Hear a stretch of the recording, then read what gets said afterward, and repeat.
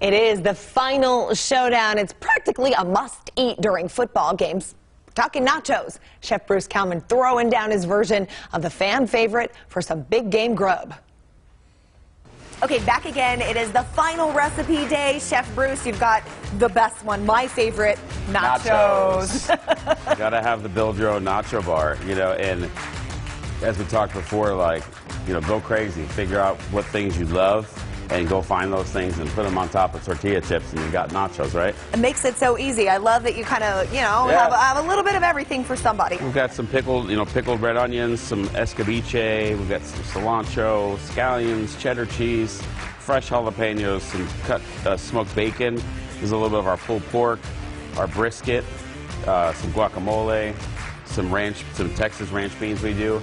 That's how we kind of do our nachos. A Little different, a little yep, take on 'em. Some cheese sauce that we make here as well, and pico de gallo. It sounds perfect. So have at it. Okay, I wanna so- see, I want to see what you're going to come up with. All right, so we're starting with the with the chips here. Good. All right. Now, is the key you have to kind of layer as you go? Yeah, I Okay. mean, my, my thing is like, I hate when you get nachos and like you get to the bottom of the thing and it's, there's there's nothing on it, nothing. there's just dry chips, right? So I would always start with sauce. Okay. All right. Cheese So sauce, unless sauce it is. Unless you're melting cheese on, but And uh, can you ever have too much cheese?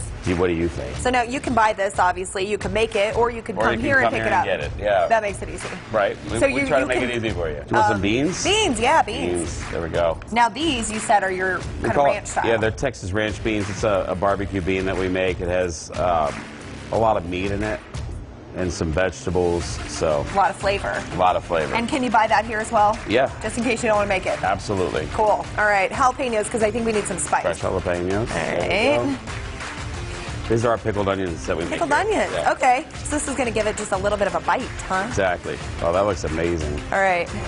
Now, uh, Who's not going to want to eat that? so nachos. Nachos. Nachos for the win. Yeah. Chef. Nicely done.